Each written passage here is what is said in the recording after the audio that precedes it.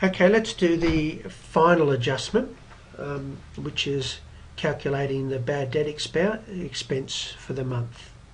Now I've copied the um, information from helpful information in here and it says this that bad debt expense is calculated using the percentage of sales method at a rate of 1.25% but at the end of the year that's the 30th of June we use the aging of receivables method now this you may not uh, fully understand yet and that's okay because we haven't done um, bad debt expense yet but if you want to go ahead there's a video on bad debt expense that will help you with this so firstly I'll do this in two ways. Um, firstly I'll do it in two ways? Probably not. Firstly I'll do it in one way, then I'll do it in another way. Now I'll do how we would normally, in a normal month, calculate the bad debt expense. Except this is not a normal month, this is the end of the year. The normal month is this. We use the percentage of sales method, and so that's credit sales. So in order to do that we need to find out the credit sales in the month and then if there's any returns and allowances, returns and allowances, so we can find out the net credit sales. Right out. So here's the normal method. We're in fact not going to use this, but if this was any month except for the last month of the year, this is what we do. Credit sales, how do we find out what the credit sales were? Well, think through this. Um, where were credit sales recorded? Well, they're in our special journal. Special journal, here is our credit sales. Here's our sales on credit. So there's our credit sales for the month, $98,680. Returns allowances, if there's any returns, where would they be? Well, we would find them in two places, but we'll look in the general journal. They should be recorded in the general journal. So um, we paid stuff for Orange computers, um, return of two computers to hardware supplies. Well, um, that's an account payable, so we didn't return any. I mean, we returned some. No, our clients didn't return any to us, so we will have no um, returns and allowances. So that will be naught. So our net credit sales Uh, are $98,600 times minus naught. There was no returns allowances. Now, we normally set aside 1.25% of this. So times 0.0125 and that equals $1,232.50. So normally would say in any month we, um, because of the prudence principle and also the matching principle, we want to set aside some money in case not all of our, uh, in case we can't collect all of our accounts receivable. And we do this by saying, well, let's take a percentage of our um, credit sales and use that. And if that's the case, we've just calculated that, we would have gone debit, um, bad debt expense, 1, 2, 3, 2, 50, and credit allowance for bad debts. One, two, three, two, fifty. Now, we are, however, not going to do that because that's a normal month. What we will do is we use a different method. So there's two main methods that people use and most most businesses would use each of them. And when we get to um,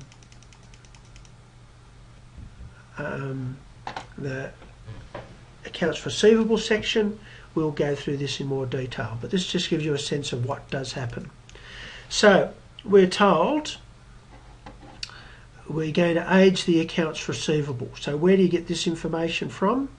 Well, in fact, we've already calculated this for you. and we've calculated it for you and you'll find the information at the bottom of the opening trial balance. If you go to the bottom of the opening trial balance you'll see this information here. There's our accounts receivable subsidiary ledger and it's been aged. What does it mean being aged? Well we see how much of that is current we see how much of that has been um, one month or more, how months has been two months or more. So here's all the totals. So I'll take those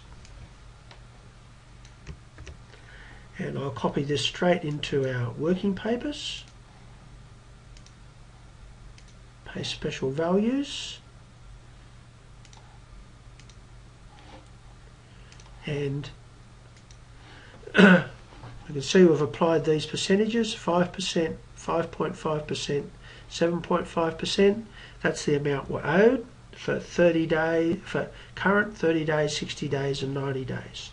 So we're estimating that our total allowance for bad debts should be um, $10,073. That's what we should have had set aside allowance for bad debts.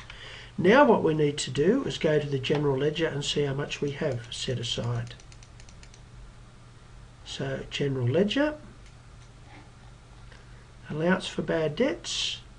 So where will we find that? It's a contra account to accounts receivable. And we have set aside $13,835. So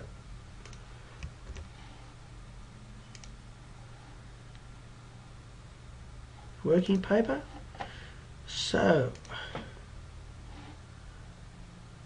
paste special values. I could have just put a link through there. But So, we have set aside $13,000. We only need to set aside $10,000. So, this is going to be a minus figure. So this is a rather complex transaction because what it means is we've set aside too much allowance for bad debts. So instead of um, having a debit to bad debt expense and a credit for allowance for bad debts, it's going to go the other way. We're going to have to reduce um, our allowance for bad debts because we've set aside too much. Um, allowance for bad debts is a contra asset, normal balance is a credit, so to reduce it, it will be a debit. So we go allowance for bad debts is 3762 and credit bad debt expense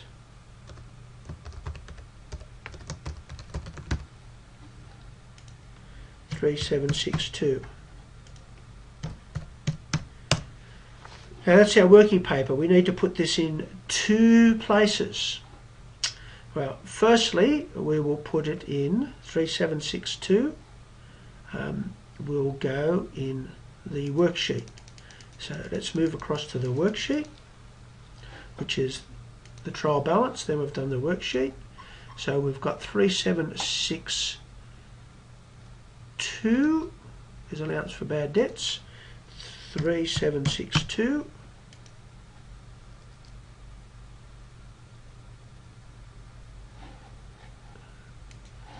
it's reducing it so it was a debit I'm going to put it on the right side 3762 and we go debit bad debt expense 3762 um, the fact that they've gone red indicates that I've got this wrong. So um, I might have to redo this video, but I'll put it up in the short run. It could be that the, the model is wrong, but I'll press on at least now to show you what happens. So then we need to add these two columns up.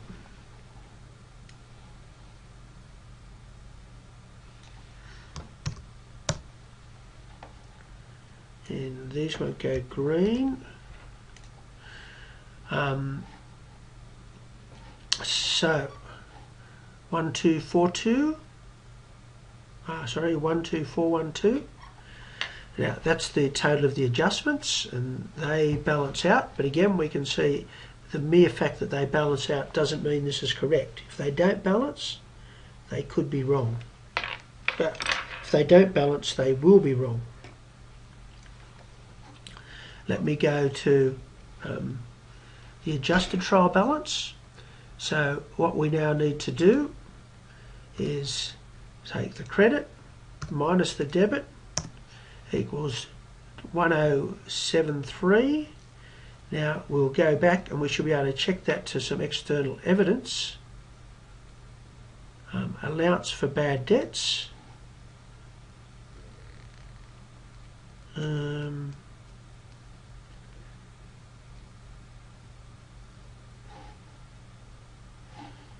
actually what I think has happened in here is in the model answer is probably just done the, the um, first method. Anyway, let me move on. So 1073, if we uh,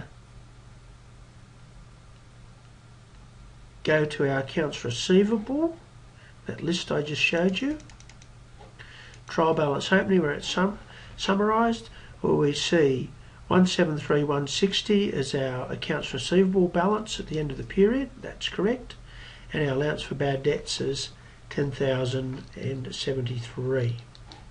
So those um, are in fact correct. So it does look like the model has a mistake in it.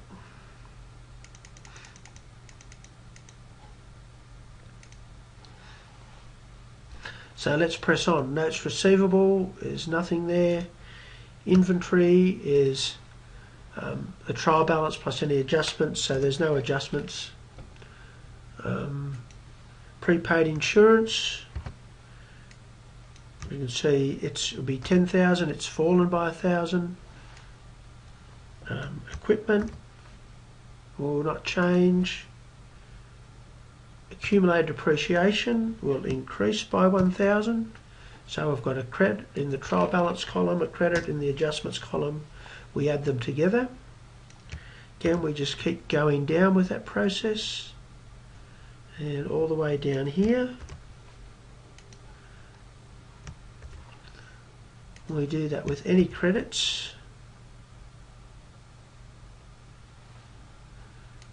Now the debits equals debits in the um, debit column plus any debits in the adjustments column minus any credits in the adjustments column. And that will be the same for the rest of these down here.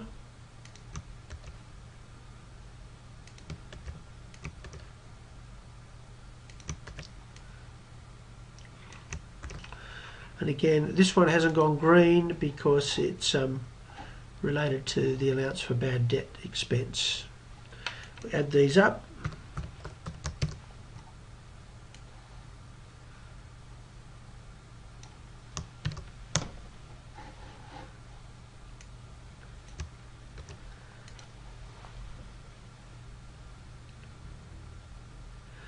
And now, now we've done our trial balance, we've done our adjustments and our adjusted trial balance. We now, this journal here, we also need to enter it in the general ledger, uh, in the general journal. So let's go to the general journal. And we have June 30. And we remember um, allowance for bad debts, which in fact fell and bad debt expense. Um, calculation of allowance for bad debts at year end as per WP5 and we'll go to working paper 5 working papers run back through to the working papers, working paper 5, 3762. Now again, this has not gone green because um, I think there's a problem in the model, but I will go back and check my calculations to see if I've made a mistake. Now, each of these items now needs to be posted to the general ledger. So you can go ahead and do that. You should be good at posting um, items to the general ledger. Remember, the same way that you posted these items up here. And they will all should go green except for this item. And bear in mind, some of you that have um, don't have the most recent version of Excel, um, well, these items are not going green at the moment. So now back to the trial balance. And this is where we start to make a much more rapid progress. And it also displays the elegance of accounting. Here we're going to produce our income statement. And what's our income statement? Our income statement is all our temporary accounts. So we can see income, sales, less returns allowances, there was none. Then less all our expenses. Just run this all the way down and we'll find out what our profit is.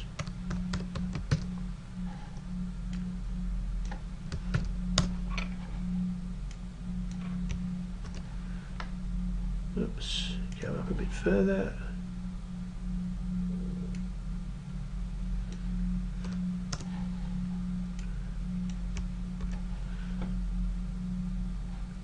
So our profit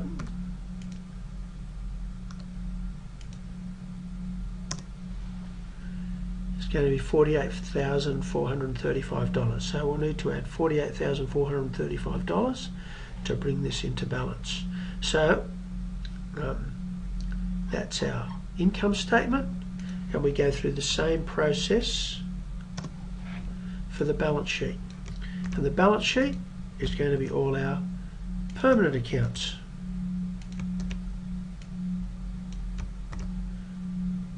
And it's just a matter of copying these straight across. It's a pretty straightforward process um, preparing our financial statements from the trial balance.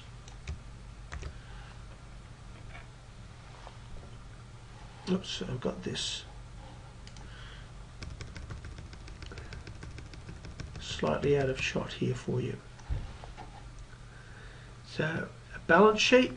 Now the drawings there in fact are a, a temporary account and um, they're not really part of the balance sheet but often in the worksheet they are put in the balance sheet area just um, for convenience and that is so that we don't have to set up two more columns.